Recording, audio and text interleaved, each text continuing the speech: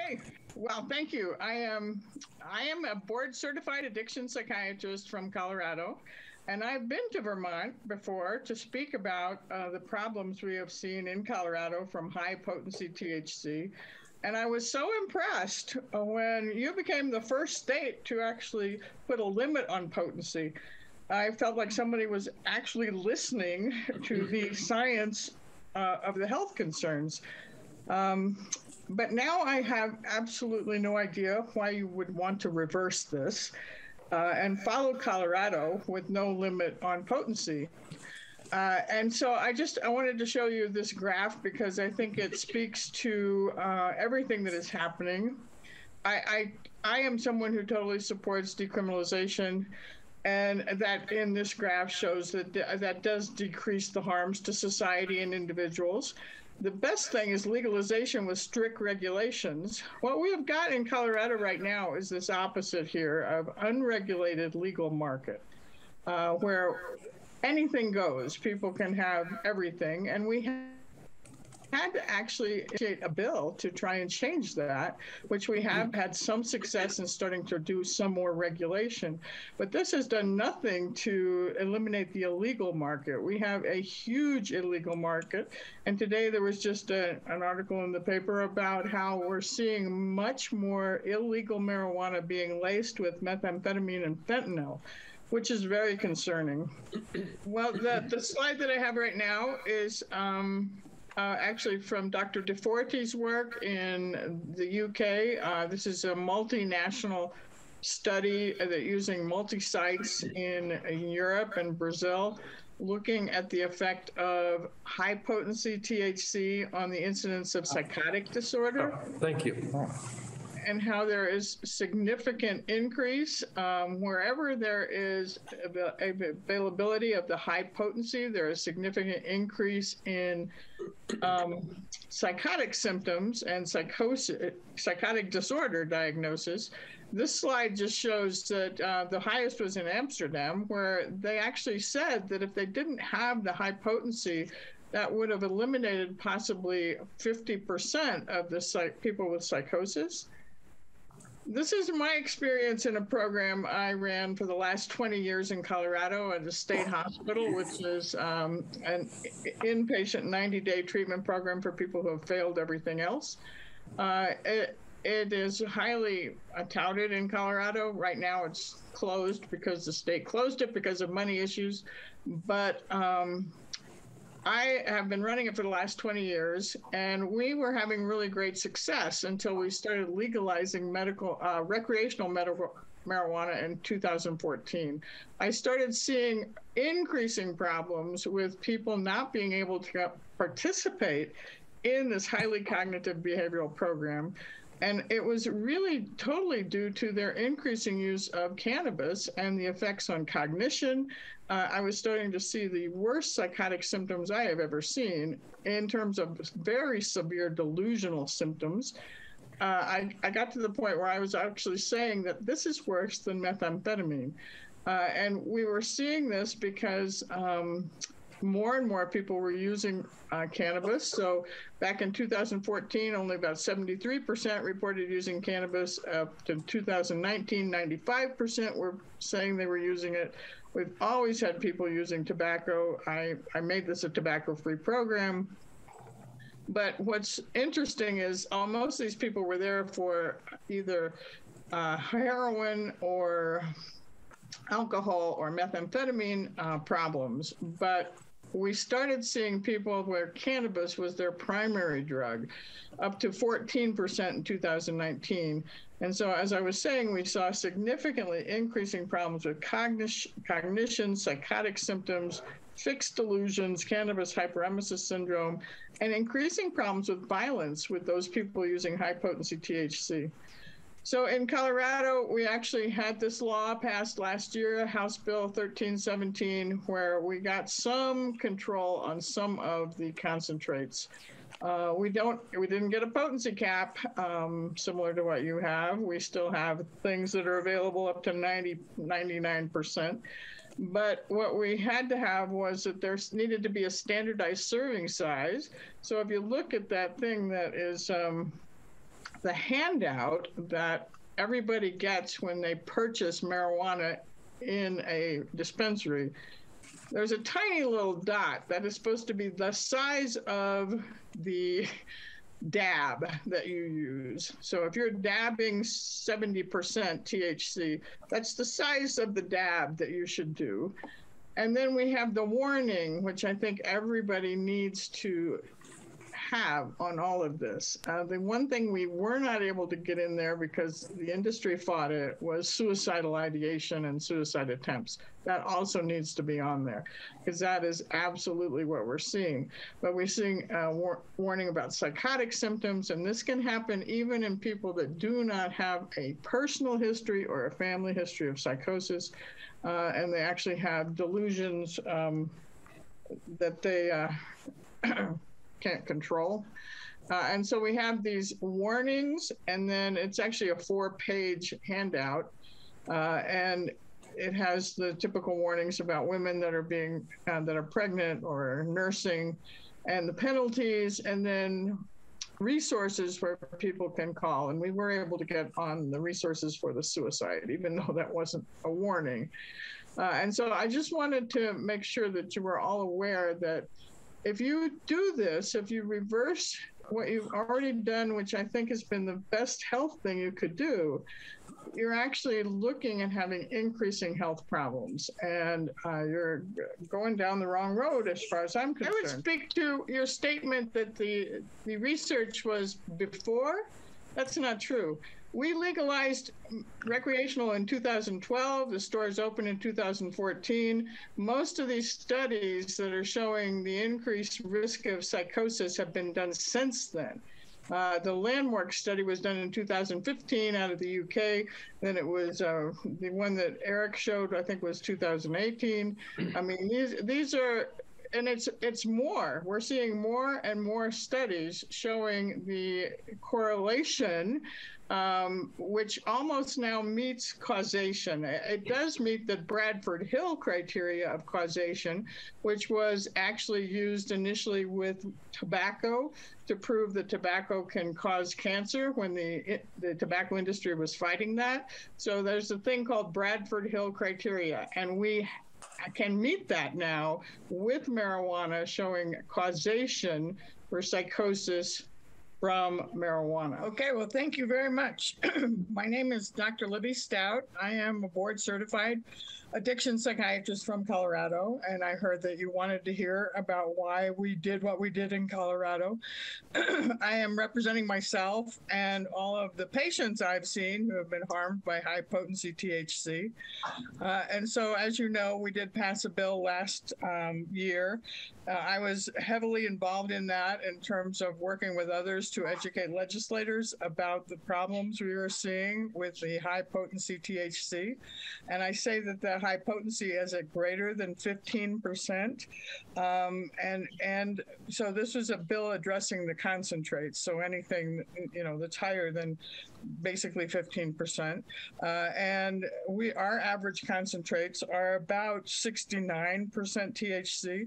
I was I respectfully disagree with Mr. Fox um, in the fact that I thought you guys were doing great. Like you were the very first state to put limits on the, the potency, which was amazing.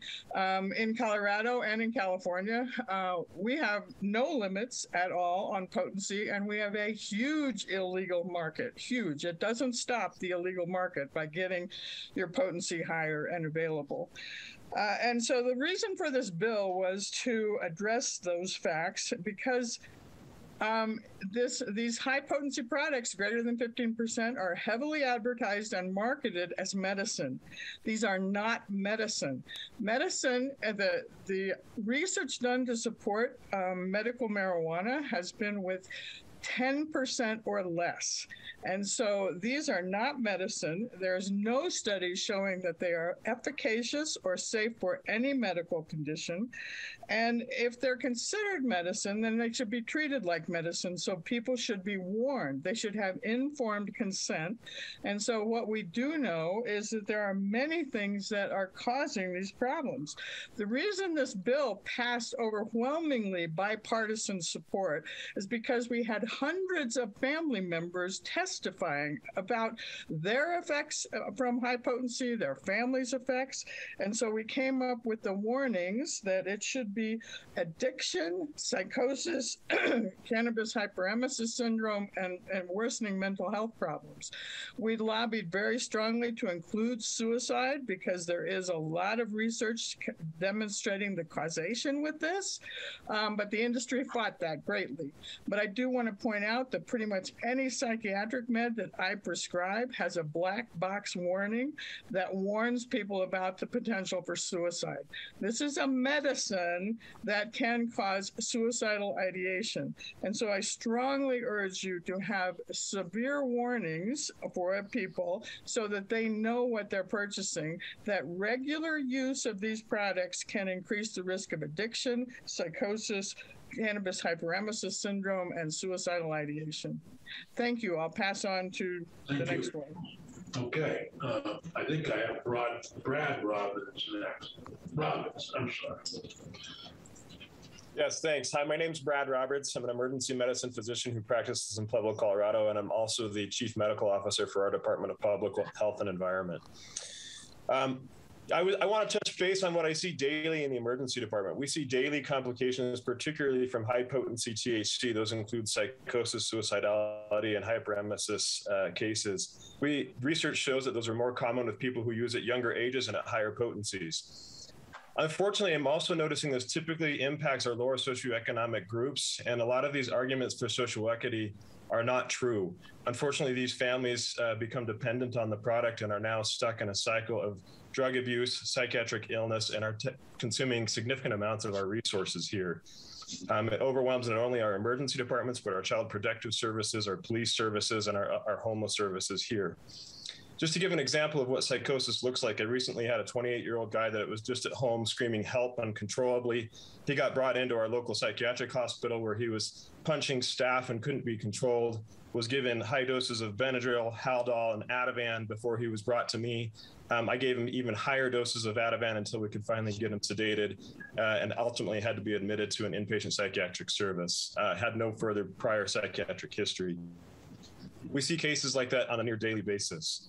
I also want to talk, uh, Libby Stuyt mentioned, but I want to also respectfully disagree with Mr. Fox. Um, what happens is these people use higher potency products, they get dependent on it, and once they're dependent on it, they can no longer afford that product, and they're stuck going back to an illicit market because that's the only thing they're able to afford.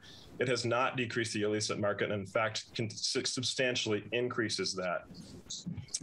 Just to kind of end um, with the as my role, the chief medical officer for the Department of Public Health, we look heavily at costs of healthcare and I want to make it clear you will never make up the cost for the increased services needed by the tax revenues brought in from cannabis. Thank you. Thank you. Uh, next is uh, Robin Gibbon. Good morning, committee members. Thank you for having me. My name is Robin Gribben. I'm a Colorado mom and I'm representing myself. My kid was 15 when he started using marijuana in Colorado. I smoked weed when I was a teenager too, so I wasn't too nervous about it. And plus, I was hearing that it had all kinds of health benefits. Some people can smoke weed and experience no problems their whole lives. But for not for a not insignificant percentage of people, there are serious health issues like depression and psychosis. One of the many harms that my kid suffered was cannabis hyperemesis syndrome, we didn't know the name of this condition at the time. He just started vomiting uncontrollably one morning and feeling severe abdominal pain. I thought he had the flu. After about eight hours of this violent vomiting and screaming in pain, I took him to the emergency department. They thought he had food poisoning, but the usual drugs that stopped vomiting would not work. So they tried Haldol, it worked. But this kept happening over and over again. The doctors would run expensive tests to rule things out.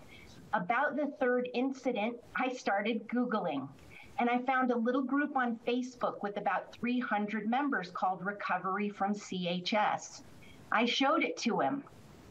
He said, No, mom, weed is great for nausea. Even a nurse wondered if maybe he wasn't smoking the good stuff. Try an organic strain, she said. All in all, my kid went to the ER 11 times over nine months, and this was billed at nearly $100,000. CHS is torture, and eventually, people who have it will do anything to make it stop. So it was tough for my kid to give up the weed, but he finally got to the other side. It's been three years since then, and that little Facebook group I mentioned, it now has 17,000 members. Adults experience CHS, and right now, Colorado emergency departments in our state see it every single day. Ask your ER docs about it. People roll their eyes and they say the stoners are puking, but it's a big problem and it costs people a lot of money. So the simple warning label we developed in Colorado could have avoided all of this because at least I would have had a heads up. Colorado created these warning labels because legislators heard from a critical mass of real people who were experiencing real harms. They are decently transparent. They give the industry some cover and they help clear up confusion for consumers. That's a win win. It's a no brainer. And isn't that convenient? My name is Catherine Antley, and I'm a community physician, and uh, we have uh, been concerned about um, the process of regulation of cannabis in Vermont, and we wanted Vermonters to be, we wanted the, this process to be transparent so that all of Vermonters will have access to the testimony, the expert testimony that um, our legislators are, are receiving in the State House. So we, we wanted to have those witnesses brought um, to you. Um, I will go through a little bit of the process of that, that, that is happening in the State House. We know a lot of Vermonters are concerned, um, and I'll just um, go through some slides. The first is this is the um, Vermont Medical Society recommended uh, science-based warning. The Medical Society did a lot of research um, and paid attention to lessons learned in Colorado. And this is the label that they came up with. It was passed in November. And you'll see many of the things that they uh, talked about the doctors um, psychosis, impaired driving, addiction, suicide attempt, uncontrolled vomiting, and harm to nursing, uh, or for fetus or nursing babies, and the psychosis or suicide attempt, importantly, um, folks should know that this can occur in individuals with no previous history of psychosis or mental illness. Um, so recently in Colorado, uh, they passed a new law and they took lead from the testimony that you saw and also many more hours of testimony and research done by a host of physicians um, in the state. This is the official recommendation of the Colorado Psychiatric Society, and you can see that their recommendations are nearly identical. Um, psychosis, uh, mental health symptoms, problems, cannabis hyperemesis syndrome, the vomiting, unrelenting vomiting and pain, cannabis use disorder or addiction, um, suicide attempt, and self injurious behavior. This is the warning as they um, talked about that they came up with. And um, again, by law, uh, this, this is given to folks who purchase cannabis in Colorado now. Um, wasn't originally, but Vermont could could learn from their experience. Um, and they did this because Colorado's youth use rate of high THC concentrates um, went in Colorado went from 4.3% in 2015 to over 20% in 2019. And the concentrates, high potency concentrates, are defined as greater than 15% or greater than 10% actually uh, THC. So this is a side-by-side comparison of what the Vermont Cannabis Control Board came up with in their warning, which is on um, the left-hand side, compared to the Medical Society's warning, which is on the right-hand side. Um, that warning um, is the result of following the law in Vermont as it was passed. So it went through the CCB process. The CCB heard from um, physicians like Olivia Stuyt, uh, we, we heard from um, physicians in um, from the medical society, and they came up with this um, this um, recommendation. Um, it then went to LCAR, which is legislative oversight, and they agreed with the recommendation. Um, so, what's concerning about this is the law in Vermont was specifically passed in order for uh, the commercialization of marijuana to be done safely. Um, the process, um, this process resulted in a, a warner, warning, the warning label that you see there, which is inaccurate by omission. This label that was followed all the rules that they were supposed to follow in Vermont to come up with a, a, a an accurate um, warning label is inaccurate by omission. What do we mean by that? This warning label does not have psychosis, uncontrolled vomiting, suicide attempt, or addiction per se. On this, they list maybe habit forming. Um, well, walking your dog might be habit forming, or brushing your teeth is habit forming. Those are good things. So, habit forming, the words habit forming, does not connote um, the damage to someone's life or those around them um, that addiction does, um, the loss of control, um, the the harm, quite frankly. So so it's inaccurate by omission. Um, in addition, right now in Vermont, um, these the testimony that you heard was listened to, uh, was solicited because they're thinking about getting rid of the 30 and 60 percent caps that are now currently present on Vermont um, cannabis. Um, so, as you heard from Dr. Stuyt and the other Dr. Roberts, um, the consensus from physicians is that that would be a very bad idea. Um, but it doesn't, it, it, and so some folks in the legislature agree and others don't agree. Um, but unfortunately, in the Senate uh, committee, um, they only heard testimony from 10 minutes, as you heard from the uh, witnesses from Colorado, and they heard almost twice as much from um, from industry. And um, so one leading senator in that committee said, "I don't understand con- concentrates." And and then the committee only took 10 minutes of testimony from the experts um, and, and 10 minutes on the health warnings. But nevertheless, the committee acted on the concentrates amendment uh, following the advice of industry advocates, removing the 60% cap on THC concentrates from Vermont law um, after taking, like, like we said, almost a third as much time, twice a third as much time listening to industry trade groups than doctors or the Vermont Medical Society representatives. Now, what's interesting about that is that um, during you know during the last week or so when this has been happening, um, there's been a lot of talk about that um, among people, um, the public, um, and and nearly 100 Vermonters called in to the State House wanting to have the caps, wanting to have accurate labels. Um, so clearly, the public wants accurate labels.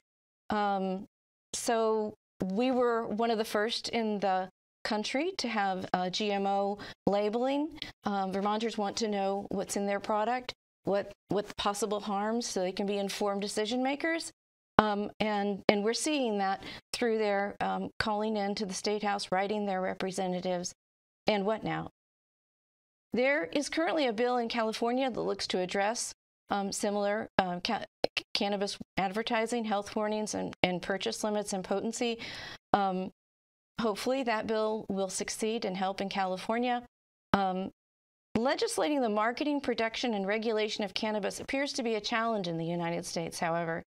Cannabis control boards are composed generally, or at least in Vermont, of human resource professionals lawyers, and other non-medical doctors, uh, other non-medical doctors. Um, in other words, um, two lawyers and one human resource professional, actually. Um, faced with the headwinds of powerful interest groups, it appears that these folks are challenged to um, evaluate um, the health um, impacts that that the label that they produce may have on on Vermonters or the concentrations um, to appreciate the harm of the different concentrations.